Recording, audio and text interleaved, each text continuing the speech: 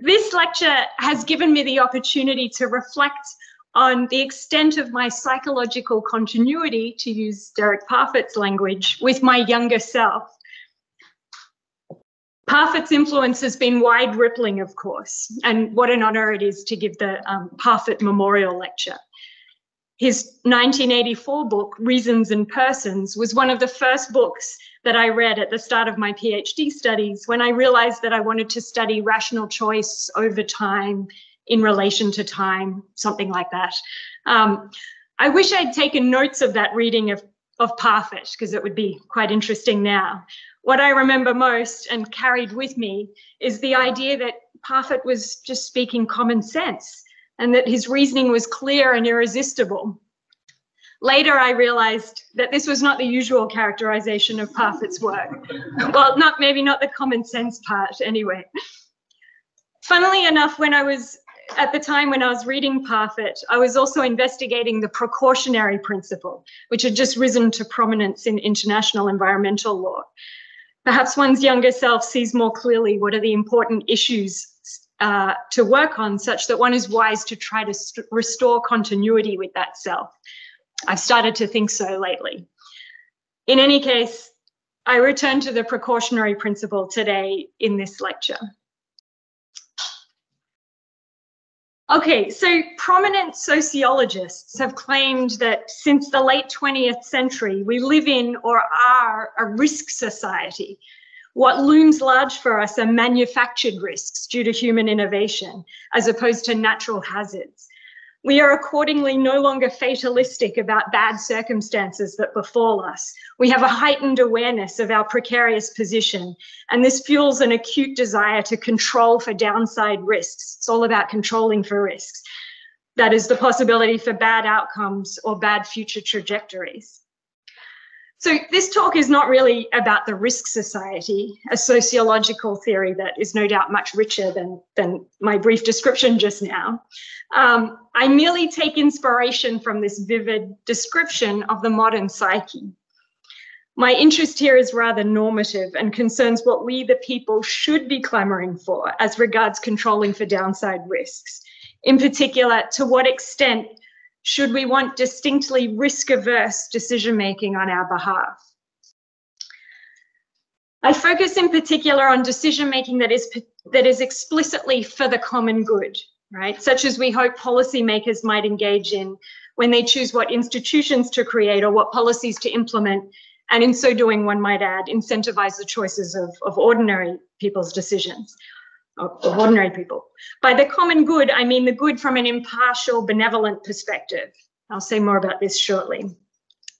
There are other actors as well who we might hope engage in decision making for the common good, um, not just policymakers, but for instance, non-governmental organizations and philanthropists as well. Whether or not they are responding to the anxieties of the risk society, policy and other such decision makers do now seem to reckon with the significant uncertainty that surrounds their choices. We can think of many, like obviously, or sort of advertised vexed decisions about the provision of humanitarian and development aid, about managing a global pandemic, about how to mitigate and adapt to climate change, as well as other evolving key threats to human well-being over the long term. So what is the right response to uncertainty when the common good is at stake? Arguably, the standard line of thought, apparently in keeping with the popular demands of the risk society, is that responsible decision making must be precautionary, understood at least in part as in some sense risk averse with respect to the common good. The notion of the precaution, precautionary principle arose in, in the 90s, as I mentioned, and despite being variously interpreted, the risk aversion aspect of this principle continues to serve as a guiding idea for responsible decision making. And indeed, a number of contemporary theorists working in ethics and risk have adopted this guiding idea as at least a starting assumption that when deciding on behalf of others, we should err on the safe side. Erring on the safe side certainly seems appealing.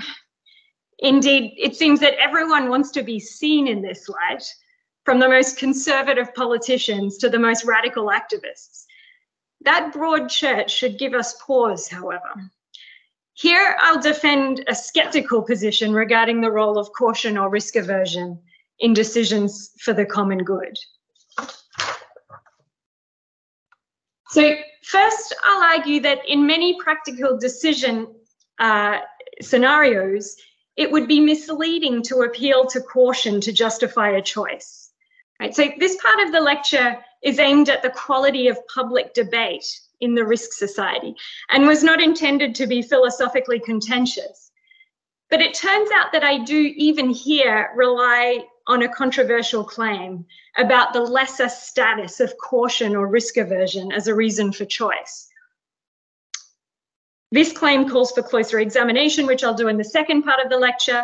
I'll argue in stages that risk aversion should not be privileged in decision making for the common good. In fact, quite the contrary, risk neutrality should be privileged. There are more compelling ways to explain our intuitions about precautionary decision making, which I'll get to at the end.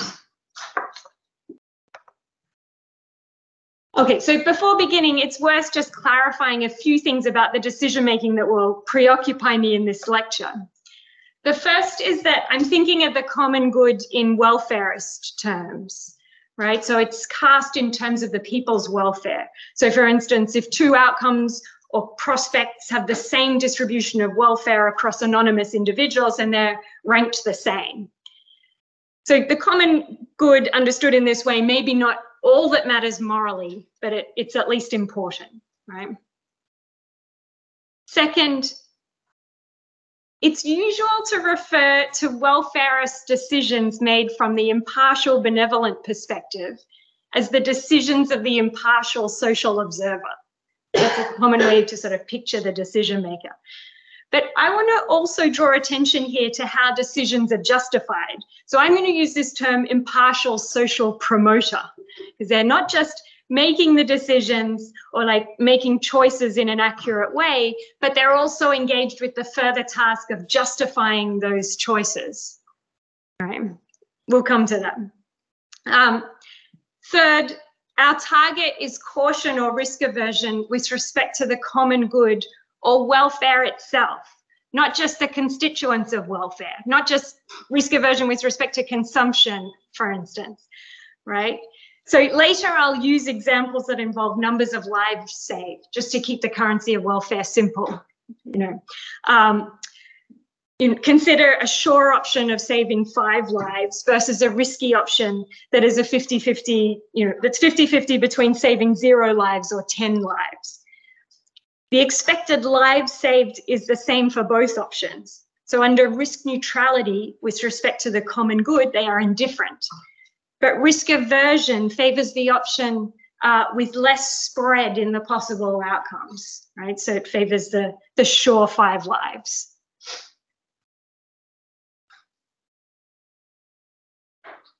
Okay, so for the moment in this part of the, the lecture, I'll accept that caution understood as risk aversion in some sense, can be legitimate in choosing for the common good, right? That the, the impartial social promoter might be risk averse. Nonetheless, I claim that there are many cases in which appealing to caution to justify a choice is misleading and unwarranted. Right. So, what I have in mind are scenario types that plausibly arise in practice and that commonly came up, at least in the early discussions of the precautionary principle. This is like sort of a semi empirical claim, but I'm not really using any empirical evidence here. I'm just sort of sketching things that I plausibly arise in practice. Right. Um, so consider this decision problem between conserve, say, some piece of land or develop it, right? And here, you know, it looks like the uncertainty depends on the prospects for financial success. And let's say there's pretty high probability for big, big dollars, right? And low probability of losing money. Um, and conserve is just mm, mm, the status quo, nothing happens. So you might say, let's say you think you your judgment is such that conserve is best, right?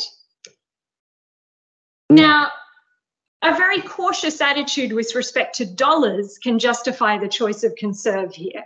You know, might have to be pretty cautious because I'm just stipulating it's a high probability of financial success. And this may even be the right choice. It may be the choice that like everyone agrees with, like everyone can sort of see, you know, just in their internal decision making. It's really conserve, right? Um, but appealing to caution is not the right justification here. Why is that? Well, I need to give you more details. Suppose the model is misleading since dollars does not, in fact, totally predict social welfare or the common good, right? So there's a further predictor that's that was missing in that table. It was sort of badly framed decision. Call it ecosystem health. So now when we put ecosystem health in, we, we do have sort of all the information we need to, to calculate the common good, let's say.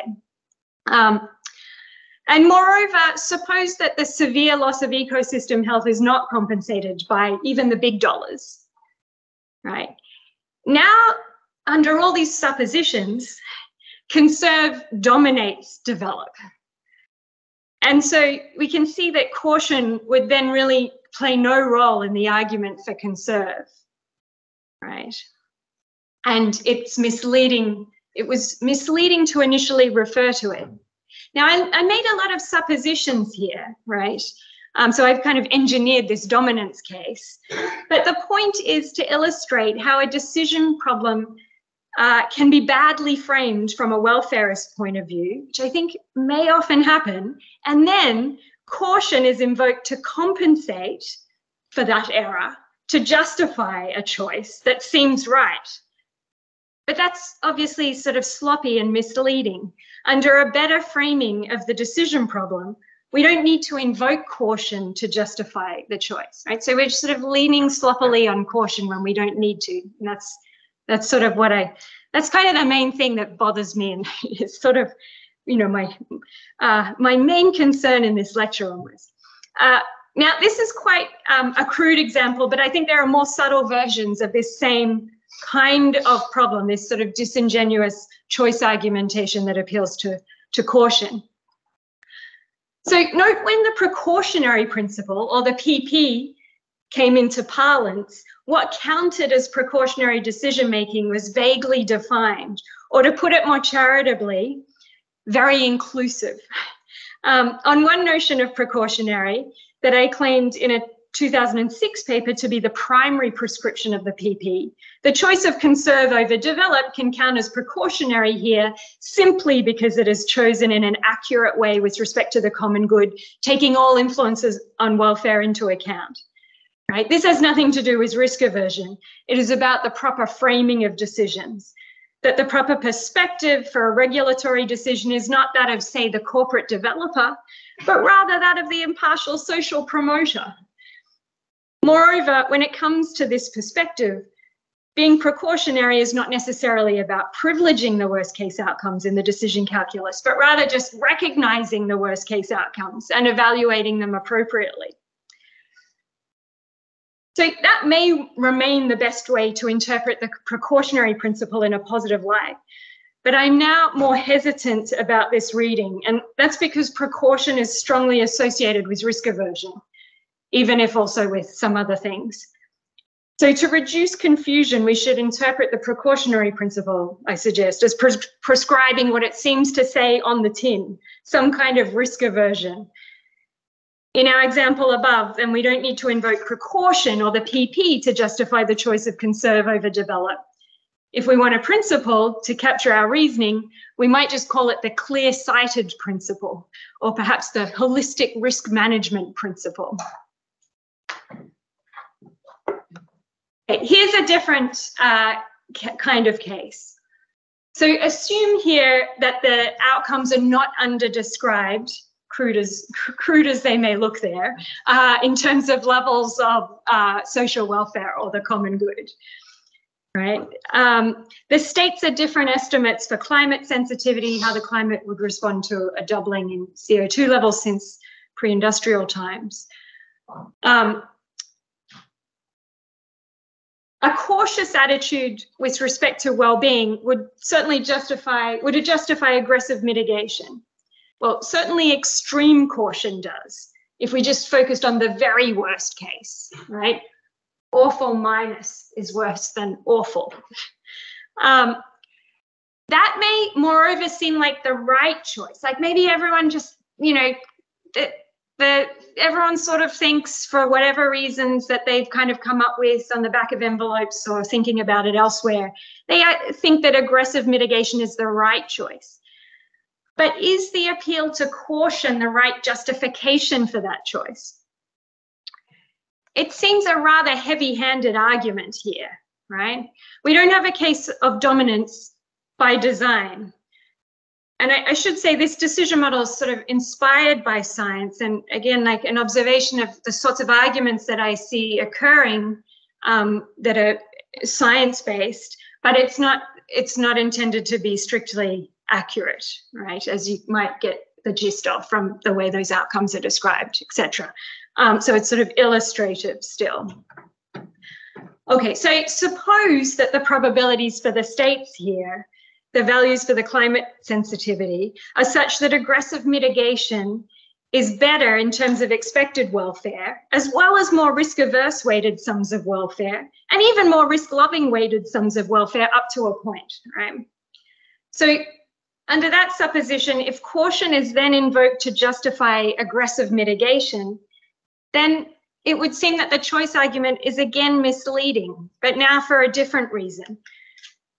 The problem is that a cautious attitude to risk and with respect to welfare is not necessary for establishing that aggressive mitigation is better than timid mitigation, right? Any old risk attitude, apart from the more extreme end of risk loving, say, would yield the same ranking of the options.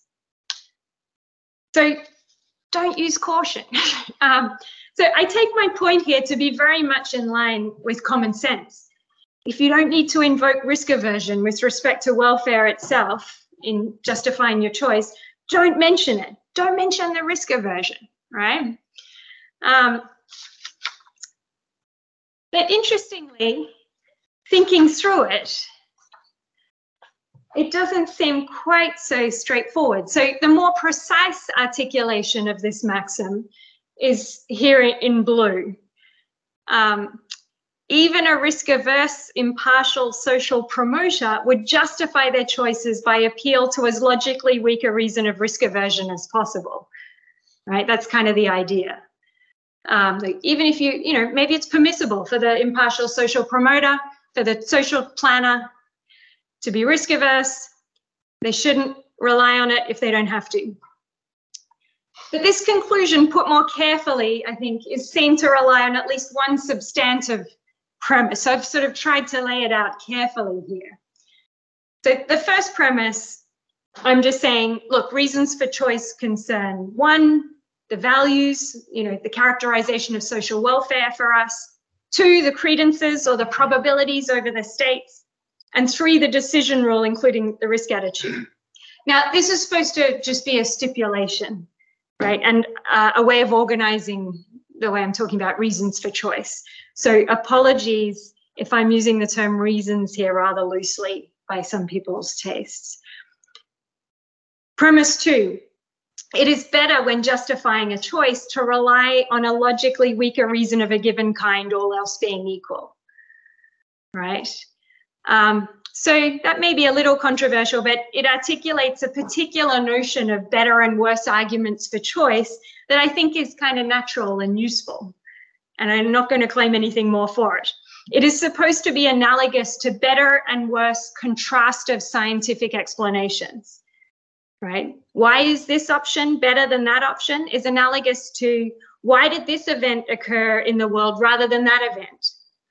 In both cases, the better argument or explanation is arguably the one that can make that can explain the difference by appeal to the most abstract or logically weakest difference maker holding other conditions fixed, right? Now, I think applied ethicists arguably use this standard in their arguments. Um, the usual strategy is to show that some practical ethical conclusion, you know, about sort of taxation policy or something, um, is not highly sensitive to the proponent's favored ethical position, but is rather robust to considerable variation in ethical position. Okay, so what I want to draw attention to is premise three. The best choice arguments regarding the common good are those that rely as little as possible on deviations from risk neutrality with respect to welfare. Now, this is clearly a rather substantive premise, although it sort of seems natural to me, um, in that it downgrades a reason of risk aversion relative to other types of reasons comprising a choice argument. It seemed right to say that caution has no role in justifying the choice of aggressive mitigation in our choice problem just before. But perhaps that was too quick. And we see this once we make premise three explicit, right? If risk aversion to some degree were required of the social promoter when making choices, just like a particular ethical position regarding social welfare, then why would the better choice argument be the one that weakens the risk attitude reason rather than, say, the social welfare reason? Right? Hold your risk aversion fixed and like, woo, look how we can get this option better than the other for all these different social welfare functions. Right? In, intuitively, for me, we should go the other way. We should be we want it the strongest arguments are the ones where you can weaken the risk aversion as little deviation from risk neutrality as possible. So premise three, in fact, says even more. It privileges risk neutrality. Um, it's not as if by premise three, the social promoter in justifying their choices avoids any risk attitude commitments. They avoid any deviation from risk neutrality insofar as they can. Okay, so I set out in this first part of the talk with the intention of making fairly uncontroversial comments about the overuse of caution or risk aversion in justifying public choices in public debate. If you don't need to rely on caution, don't mention it. But simple as this sounds, we see that its truth seems to depend on the answer to this deep question about the status of caution as a reason for choice when the common good is at stake. So we'd better tackle that question head on. Okay, so in tackling it, I want to turn to decision problems in which the right choice seems relatively sensitive to the level of risk aversion. So we can sort of test our ideas about it, right? I'll begin with simple decision problems and then move on to more complicated ones. Um, in both cases, I'm going to argue that the best explanations are, of our intuitions don't invoke risk aversion and that um, ultimately risk neutrality is privileged. Okay, so the few who have carefully defended risk aversion on the part of the social planner, as they call it, um, although I have to say, I believe it to be a fairly widespread hunch that many have, even if they haven't defended it, um, have focused primarily, or at least for starters, on simple cases like this where the fate of community members is aligned, you know, even identical. So imagine, for instance, that this table represents the decision of an agricultural community about whether to rent water storage facilities for all to use. Renting is the safe option, allowing a good crop for all, but at some cost, a sure outcome. Not renting is risky. Either it will result in a good crop for all at no cost, hooray, 200, or it will result in a failed crop for all, zero. So I'm actually going to use this decision table to represent a few different decision scenarios here. So notice just when you're looking at this table that we now have three dimensions in our decision problem since we're interested in the individuals who comprise the full collective, right? So they're the rows. And I'm only representing two groups here, right? And the groups are divided, the people are divided in terms of their risk attitudes. So group one is risk neutral. Um, they therefore prefer the risky option, expected value of 100 compared to 60, right? Well, everyone in group two is risk averse to some specific extent. And I'm going to say they actually prefer the safe option. There are two uh, choice options here, as you can see, and two relevant states of the world, which we have to sort of duplicate for both choice options because we're dealing with the three dimensions. Okay, so here the common good just plausibly equates to everyone's individual good, a sort of unanimity principle. Um, Let me say a bit more about risk aversion with respect to social in, or individual welfare, since it can be operationalized in different ways, right? So it could just be, you could model it like this. Decision utility is concave with respect to welfare, right? Like the diminishing marginal utility of money, but here the diminishing marginal utility of welfare or lives in our more simple cases that will come later. So risk aversion with respect to welfare uh, can be consistent with expected utility theory.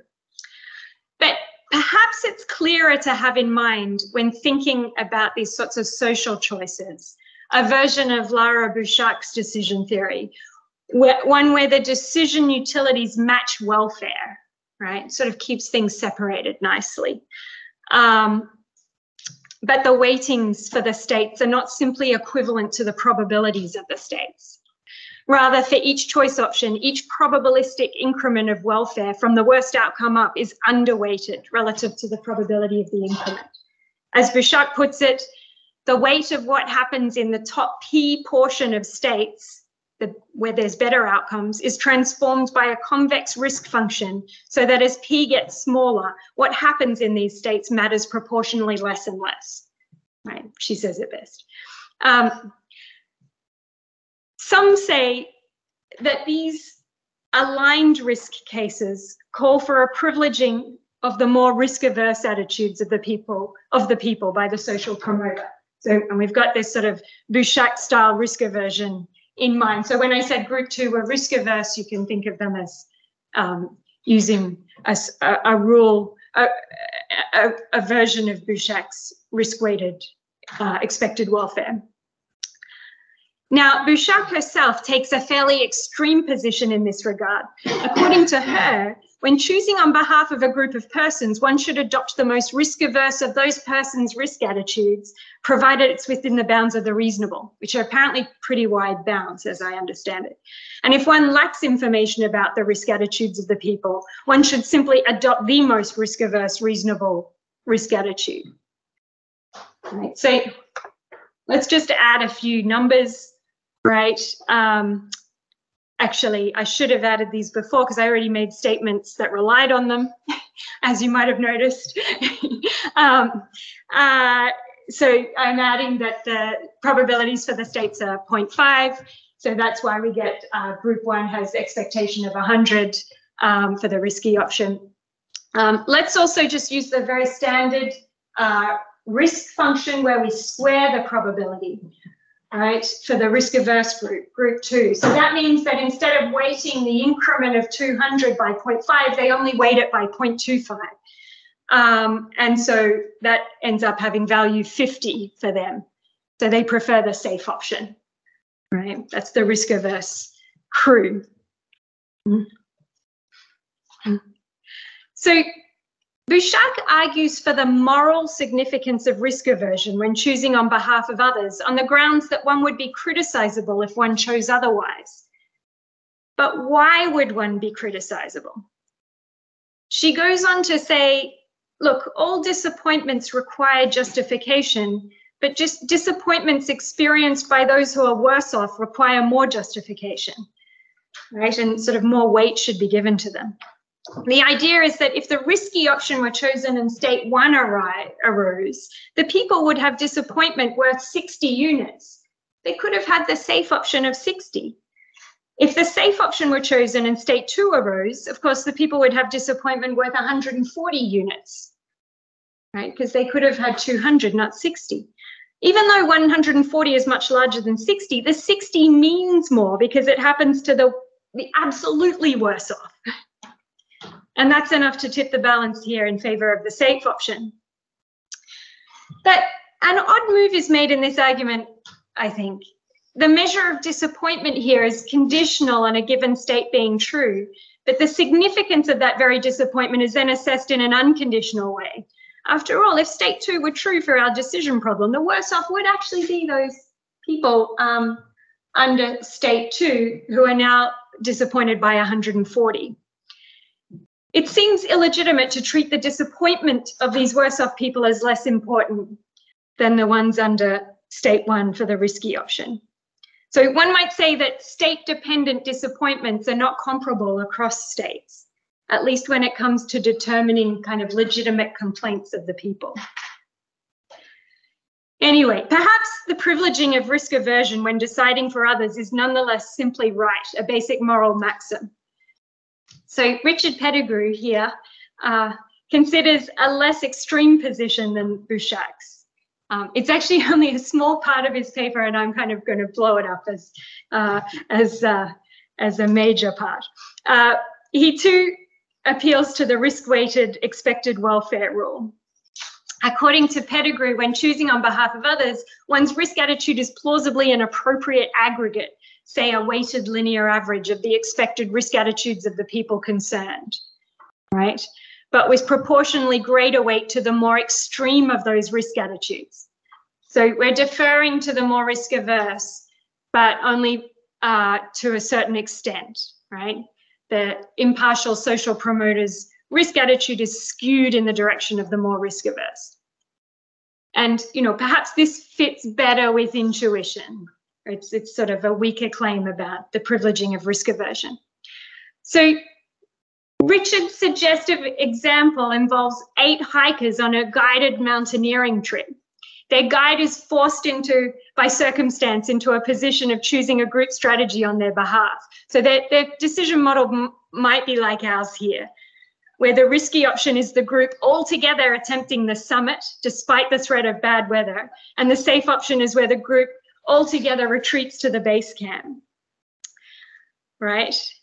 But the hikers' risk attitudes differ. So five of the hikers are risk neutral, group one, and three of them are risk averse. And so they like the safe option. Now, it's suggested that the safe option is plausibly the right choice for the guide here. You know, the risk averse hikers are a minority, but intuitively they're a big enough minority to skew the common good decision towards the safe option, right? Now, this particular example, however, has some unique features such that it is doubtful whether the lessons generalize. So some people claim that it's a difficult uh, example to understand if you're not into mountain climbing, right? So I was reading this, I was reading Richard's paper carefully with colleague, a colleague in Stockholm, and he was like, why would anyone want to go to the summit anyway when you could be cozying down in base camp having some hot chocolate? Um, so anyway, but that's more seriously. Um, for a dangerous mountain expedition, surely it matters whether or not it is done voluntarily or at least whether or not consent would hypothetically be given by each hiker. So in that case, the welfare of the individuals in the social outcomes is more complicated than first appearances suggest, or else the question of consent makes considerations of welfare kind of less relevant. No, no wonder we feel that we should side with the more risk-averse hikers when to do otherwise means forcing people up a dangerous mountain they are reluctant to climb, right? So moreover, when the story is more like that of the agricultural community, it's like less clear as far as intuitions go that the more risk averse attitudes matter more. So in sum, I'm a bit skeptical. It seems like when we get examples like the hikers example that do like really push us in favor of going with the risk averse, that seems to be due to unusual features of that of cases such as that, right? And examples that lack these unusual features uh, arguably, you know, we've only we've only considered two here, but do not so readily seem to support privileging to any extent the attitudes of the more risk averse. All right, um, that's about all I can say about that. So I'm going to move on. So far, I've been casting doubt on the privileging of more risk averse attitudes in deferring to the people on risk attitudes. But now I want to pursue some problems for the social promoter adopting any deviation from risk neutrality.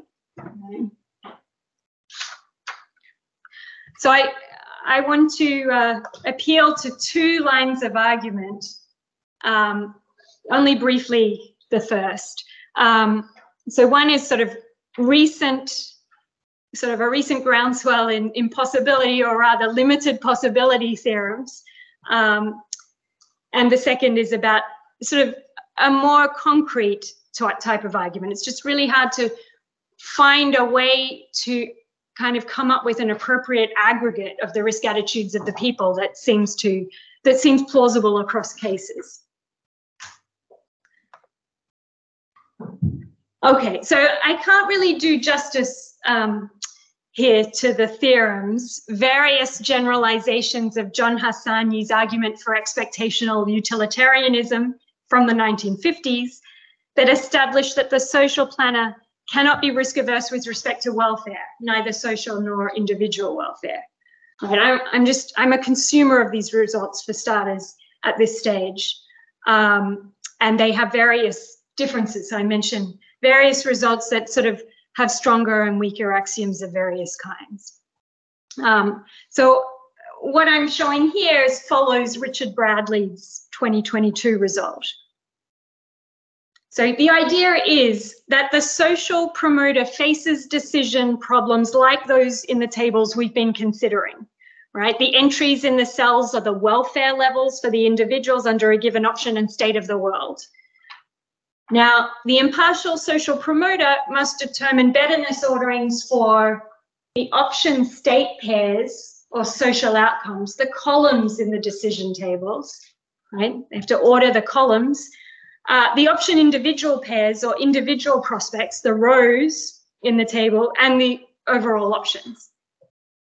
And then there's a bunch of further conditions that we might apply that are quite seem quite limited, right? Social outcome anonymity. This just means the social promoter is indifferent between social outcomes for which the distribution of individual well-being is the same, only the people are shuffled, right? Um, state-wise dominance, if for all states, one option yields a social outcome that is at least as good as the social outcome for the other option, then the former option is at least as good as the latter option. And then a limited ex ante Pareto condition uh, that only applies when the social outcomes state by state have equivalent social features, right? In these cases, if for all individuals one option is at least as good as another, then the former is socially at least as good as the other. If in addition, for at least one individual, the so one option is better, then the former option is socially strictly better than the latter. So surprisingly, these limited conditions, and maybe you can make them more limited, uh, effectively restrict the evaluation of social and individual prospects to having expectational form, risk neutrality with respect to welfare, right? You just have to accept that for now. Um,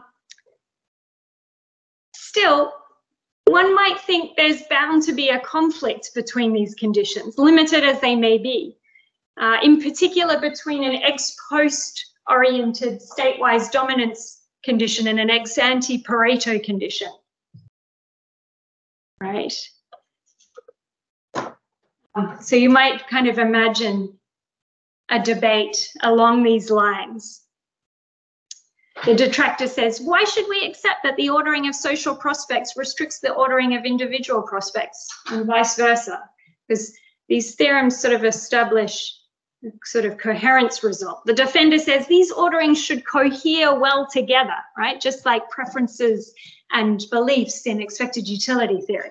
And the detractor says, but statewise dominance and ex ante Pareto are motivated in entirely different ways, right? The ones focusing on social outcomes um, from the social perspective and the other ones from the individual perspective.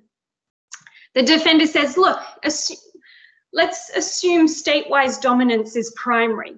Surely it still speaks in favor of an option that is judged better for all individuals concerned. The detractor says, but there may be features that are only apparent at the social level that favor the other option, counteracting the consensus at the individual level.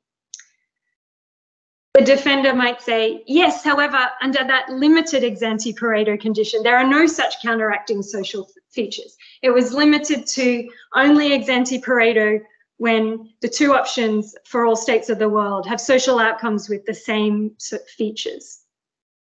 But the detractor might say, even so, an equivalence between options at the social level undermines even if it doesn't counteract any consensus in favor of one option at the individual level, showing it to be based on limited viewpoints. They could go on, even though option A is better than option B for all the individuals concerned, it turns out that this apparent advantage of option A is undermined or shown to be superficial at the social level. Because at that level, we see that the options A and B are effectively identical. Right, so sort of trying to like get rid of ex ante Pareto. These impossibility theorems are relying on dominance and Pareto together, force risk neutrality, right? Um, so I'm sort of trying to imagine a conversation where we like chuck out ex ante Pareto. um, so I'm giving the ex ante Pareto skeptic the last word here. But the minimality of the conditions which force neut risk neutrality with respect to welfare is impressive, right?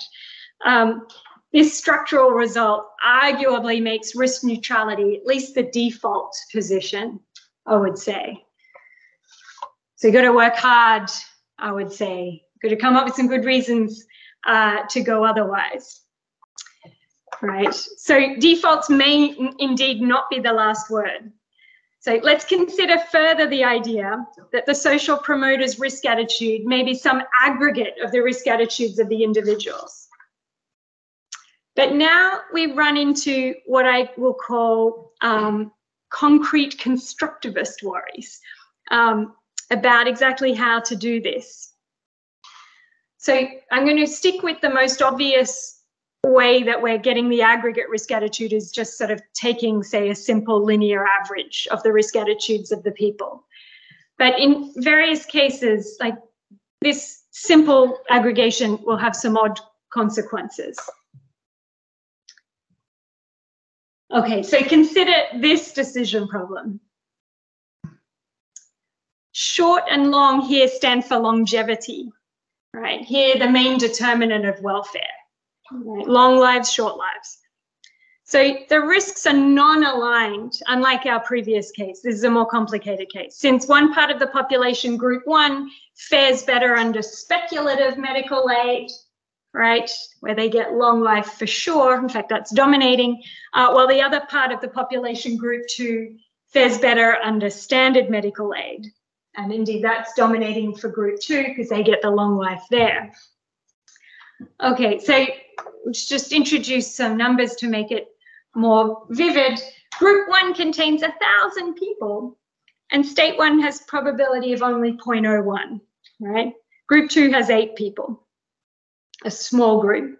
So the standard medical aid has, has one terrible outcome uh, for these thousand people with the short lives. Uh, but in expectation, only 10 short lives and the rest long lives. Well, in expectation, 10 short lives and the rest long lives. While speculative medical aid has expected eight short lives uh, and, a, and a thousand long lives, the rest long lives.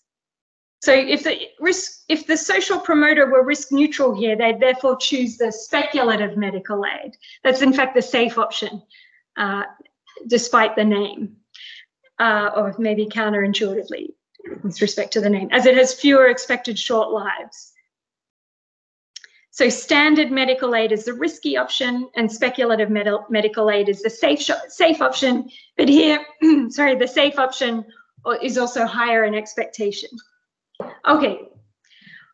What if the social promoter instead looked to the people to decide here what risk attitude to take?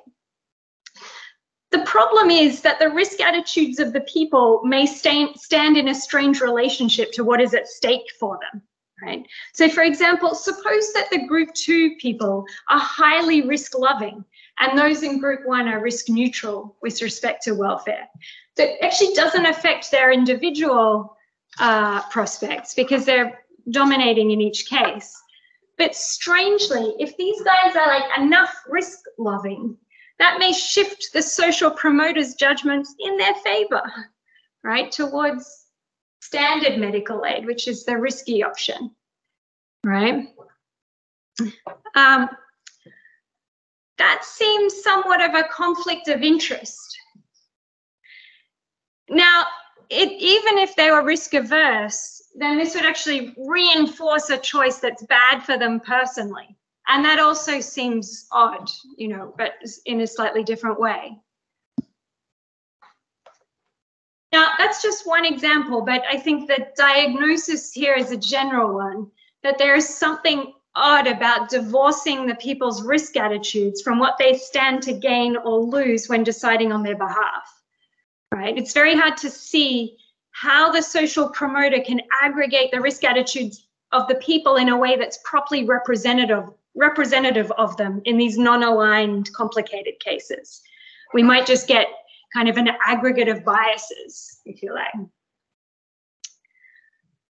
Okay, so that's the second part. Um, I've been doing all this to try to defend that premise three from my initial arg argument in in uh, in part one of the lecture, right? Risk, and I feel like we've come to the point risk aversion with respect to the common good is not plausibly a requirement. It is at best a permission. And there are strong doubts even about that. The maxim, if you can make your choice argument without appealing to some deviation from risk neutrality, then you should do so, seems right after all. Right. That's what I want to say. Um, so does the story then end there? Down with risk aversion on the part of the impartial social promoter. Well, not exactly. It's worth trying to explain common judgments about what are more and less precautionary choice options. So, despite appearances, however, these judgments do not seem to consistently favor risk aversion anyway. So, this might be sort of another argument against risk aversion that it doesn't do a good job sort of tracking our precautionary intuitive judgments, even if it, appears like it, it would, right? So we need a different explanation of what is going on, even putting aside worries about the reasonable reasonableness of risk aversion. So what I want to appeal to um, is an is an augmented notion of the welfare of the individuals in the context of real practical social decisions. so I, what I have in mind here is sort of something in the spirit of Parfit's telic versus deontic egalitarianism, right? So Parfit talked of deontic egalitarianism as the position that equality is a matter of justice that may only arise in the context of deliberate choice. Like there's something about deliberate choice that adds extra considerations, right? Um, here, I want to use this basic idea that deliberate choice does raise further considerations to do with how one is treated that affects individuals' welfare. I'm sort of treading a fine line here because I want to stay welfarist. But I'm like, I want to add uh, add to welfare in the context of deliberate choice, right? Something to do with being respected, uh, being treated properly in these deliberate choice scenarios. So recall the earlier point about hypothetical consent for the hikers example. That seems like something that you know should be part of augmented deontic welfare. Um, another avenue that one might pursue, because there's sort of many, many possibilities to explore here, um, it, especially if you want, you still think the risk attitudes of the people are important, is that you might add an agent's own attitudes towards risk into their welfare, right? They might augment their welfare with like a risk differential for all their outcomes. Um, and that sort of keeps their risk attitude with their fate in a way that I thought was problematic before when we separated the two. Um, so indeed, some choice theorists have pursued models that may be interpreted in this way. And indeed, I think you can do this for any kind of risk aversion model. Just slap it into the, you know, put it in the outcomes. Um, but actually, that's not um, that's not the, the, the type that I want to discuss here. I want to focus on uh, this kind of augmented welfare, uh, which I think is needed to explain various precautionary judgments about choice options that might otherwise seem inconsistent. Right, so here the augmentation of welfare uh, occurs around this reference point. Like many people think it's of it as the status quo, but it might just be the perceived status quo or the perceived entitlements of the community, right? The perceived normal, what we should have, right? And um, you can see the way that it works. This graph just shows a very simple linear transformation of welfare, but with different gradients above and below the reference point. So basically gains above the reference point are downgraded, you know, on the day on the augmented welfare, uh, whereas losses below the reference point are upgraded. Like emphasize the losses, downgrade the gains. Now, versions of this sort of augmented welfare are independently argued for by ethicists. Example, consider the doing allowing distinction. Doing harm, a loss, is worse than allowing harm, foregoing a gain. It's a bit like this diagram, sort of. I, I don't think they're going to like my welfarist interpretation, but I'm going to uh, take some take some confidence from that distinction nonetheless. Um, anyway, um, I said that we seem to need something like this anyway to explain our intuitive judgments. Okay, so risk aversion involves greater concern for worst case outcomes. What if the choice is about whether to lower the probability of a catastrophic outcome, right? As we hear some discussion of these days, at some opportunity cost. Now, sometimes we, the people, do seem to think that precaution favors lowering the probability of catastrophic outcomes. So consider Martin Weitzman's uh, point in response to the 2007 Stern review on climate change. He emphasized the scale of the catastrophic outcomes associated with business as usual climate change, right? Um, and the, the idea was sort of to make aggressive climate change mitigation even more choice worthy on a risk neutral calculation, right? It gets even worse in expectation when you have when you sort of make the worst outcomes really bad. Now, risk aversion with respect to the common good would bolster the case even more for aggressive mitigation, um, in line with the direction that I think many do regard as the right precautionary direction. But so too would an augmentation of welfare under which a stable climate is the perceived status quo or entitlement. Like this would also accord with intuitions that like, yeah, it is, it is really important. Precaution favors even more that we should like lower the probability of this catastrophic outcome, right? Um, so how would it work? It would be as if it were analogous to this medical case again, but now if you look at the entries in red, these are registering the losses and gains. So I'm just going to, it's as if the speculative medical aid, the normal, that's the normal climate, is sort of the reference point. And now, you know, we see we've got losses, a big potential loss if we shift to standard medical aid, and then just some tiny gains. So we're going to stick with speculative medical aid, right? Um, and that seems to be in line with our intuitions, at least on this telling of the story where I'm like using the analogy with climate change. Other times, however, we our intuitions seem to go the other way, right? We balk at absorbing the opportunity costs associated with lowering the probability of catastrophic outcomes. For, for example, consider cases, you know, whether real or hypothetical, where it is stipulated that there's a low probability of a really terrible AI related future, and we could make that low probability even lower at modest opportunity cost. For many, this doesn't seem like the responsible precautionary response. In fact, you know, as effective altruists, you know, maybe uh, frustrated by, um, or at least it seems that precaution should not should not bolster the case for the option of lowering the probability of the catastrophic outcome. I mean, in the end, the choice may go either way, but the question is like, which way, which way does precaution push? Yet risk aversion does bolster the case for this option as before, right? Lowering the probability of the catastrophic outcome. Augmented welfare has more flexibility, right? It does not bolster the case for this option if the perceived status quo or entitlements are the other way around compared to what they were before. So now make the standard medical aid the stat the, the perceived reference point, which is I think is what is happening here. Like we we're not familiar with these weird risks that people sometimes tell us about. We just think they're part of the status quo, right?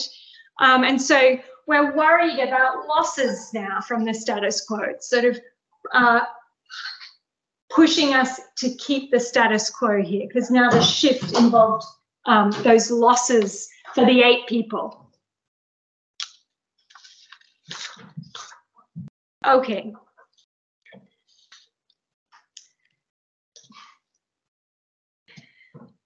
So now, yeah, we're more reluctant to take on this case. So this seems that we can sort of explain our intuitions in this way.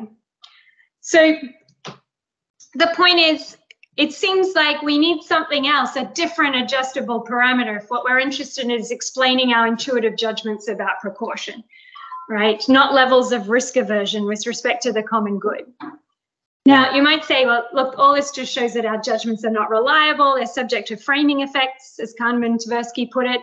Um, that may be so, and I, I've not really made a compelling normative case for this sort of reference point idea.